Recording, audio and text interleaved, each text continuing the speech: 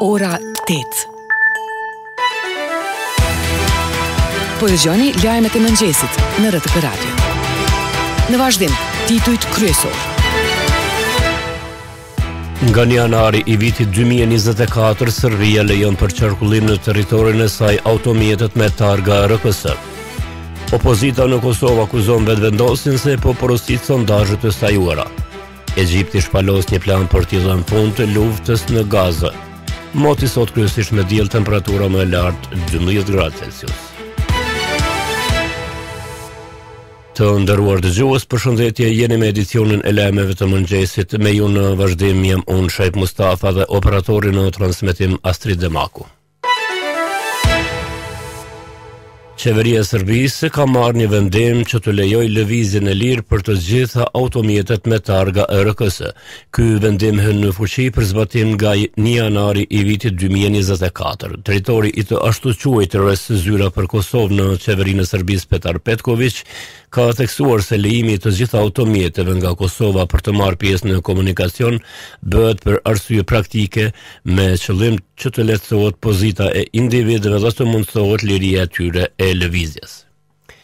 E policia e Kosovës ka bërë me dije se ka konfiskuar një numër të pajisjeve të rrezikshme në lagjen multietnike në Mitrovicën e Veriut, për të cilat ka thënë se rrezikonin që potencialisht të përdoreshin për sulm ndaj zyrtarëve policorë. Aty janë gjetur tela gjemborë të improvizuar, bomba tymosëse, municion dhe një uniformë, thuhet në njoftimin e policisë. Ndërkaq zëvendësdrejtori i policisë së Kosovës për rajonin e veriut Veton Elshani për RTK-në ka thënë se mjetet e konfiskuara mund të kenë qenë rrezik i drejtpërdrejtë për policinë apo edhe qytetarët. Ai nuk ka konfirmuar se mjetet e konfiskuara kanë lidhje me operacionin e Banjskës. Jo, nuk mund të themi që është nga nga operacioni i Banjskës, edhe pse do të bëhen analizat edhe me siguri do të shihet se me çka kemi të bëjmë këtu. Ajo çka është me rëndësi është që informacionet i pranojmë vazhdimisht nga qytetarët e veriut të vendit, edhe sikurse edhe në këtë rast ne vazhdojmë të jemi efikasë dhe efektivë në punën tonë, me konfiskimin e këtyre pajisje të cilat mund të paraqesin apo mund të paraqisnin rrezik për pjesëtarët e Policisë Kosovës ose ose dikujt tjetër. Mirëpo nuk është diçka e jashtëzakonshme ajo çfarë po ndodh në veri me me këto bastisje, me këto konfiskime, edhe me veprimet tona policore, ne tani në këtë moment kur flasim para pak minuta veç kemi dërguar një kombi furgon kështu me me cigare që kemi nxënë kontrabandë me mall, kemi dërguar në dogan, domethënë vazhdimësi kemi punë të tilla të cilat ne jemi duke i kry. Idetë se asociacioni i komunave me shumicë serbe do të krijojë autonomi janë ide të injorancës apo nga njerëz me qëllime të caktuara, thotë për Radio Kosovën hulumtuesi i lartë mbi politikën e Evropës Juglindore James Kerr Lindsay. E politologja Arta Tahiri konsideron se në janar mund të ketë presion ndaj Kosovës dhe Serbisë për të arritur marrëveshje finale. Arbenita Marmullaku.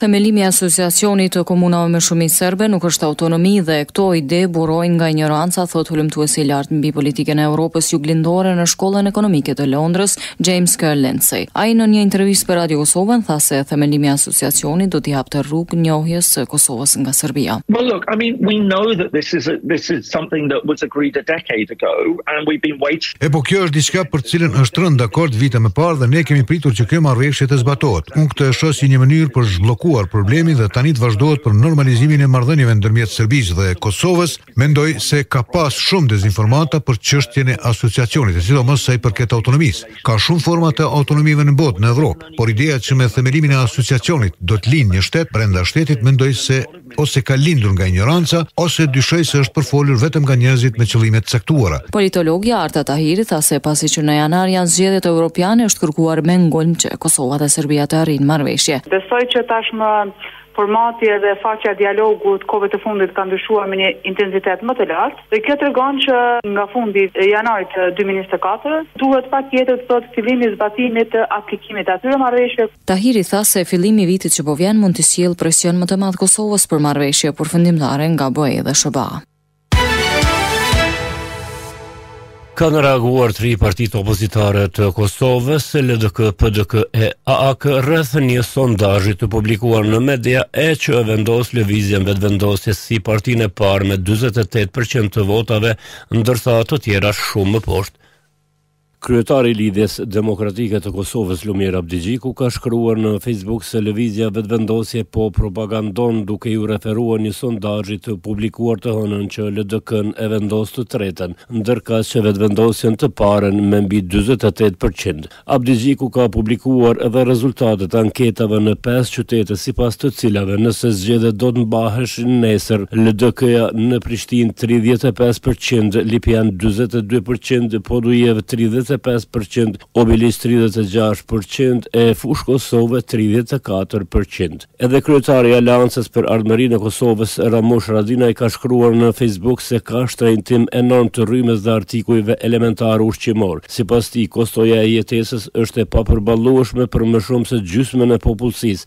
e dikush sipas tij po ka para të paguajë sondazhe për matjen e rezultateve të zgjedhjeve të mundshme. Ai i ka bërë thirrje prokurorisë të hetojë këto sondazhe që sipas tij janë shumë të kushtueshme. E nënkryetarja e Partisë Demokratike të Kosovës, Vlora Çitaku i ka bërë thirrje kryeministrit të Kosovës, Albin Kurtit që vendi të shkojë në zgjedhje. Me anë të një postimi në Facebook, Çitaku ka thënë se me qeverisjen e tij, Kurti do të shënohet në histori si qeveria më e dështuar ndonjëherë. Të gjitha materialet dhe intervistat ekskluzive tani i gjeni në kanalin zyrtar në YouTube.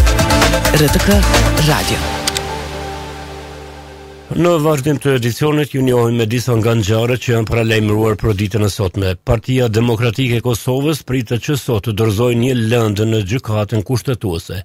PDK nuk ka treguar se për çfarë lënde bëhet fjalë. Pas dorëzimit të lëndës është paralajmëruar edhe një konferencë për media.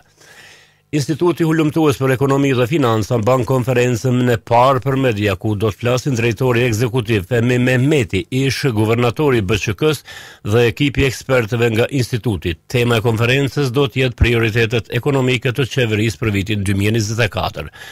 Ndërkaq, Iniciativa për Progres mban tryezë diskutimi ku do të prezentohet raporti me titull Problemet endemike të tenderimit dhe menaxhimit të kontratave. Raporti është rezultat i monitorimit të 20 komunave të Republikës së Kosovës. E ndërkaq, bashkësia në Kukës në bashkëpunim me Fondacionin Hasan Prishtina sot bëjnë inaugurimin e bustit të heroit kombëtar Hasan Prishtina në këtë qytet. Departamenti Amerikan i Shtetit u ka bërë thirrje autoriteteve në Serbi të bashkëpunojnë me misionin e OSBE-s në hetimin e pretendimeve për parregullsi zgjedhore. Në një përgjigje dhënë Zërit të Amerikës, Departamenti i Shtetit thotë se legjitimiteti i proceseve demokratike varet nga vullneti i të gjithë pjesëmarrësve për ta pranuar rezultatin e zgjedhjeve. Lajme nga bota. Egjipti ka paraqitur një propozim fillestar ambicioz për t'i dhënë fund luftës mes Izraelit dhe Hamasit me një armëpushim, një plan për lirim të pengjeve dhe me krijimin e një qeverie palestineze ekspertësh që do të administronin rripin e Gazës dhe bregun perëndimor të pushtuar, tha një zyrtar i lartë egjiptian dhe një diplomat evropian. Propozimi egjiptian i punuar së bashku me Katarin i është paraqitur Izraelit, Hamasit, Shteteve të Bashkuara dhe qeverive evropiane. Parashikimi i motit. Në Kosovë sot do të mbajë mot kryesisht me diell e temperatura më e lartë e ditës pritet të arrijë në 10 gradë Celsius. Të nderuar dëgjues, këto ishin të gjitha materialet e përgatitura për këtë edicion informativ, mirudëgjofshim.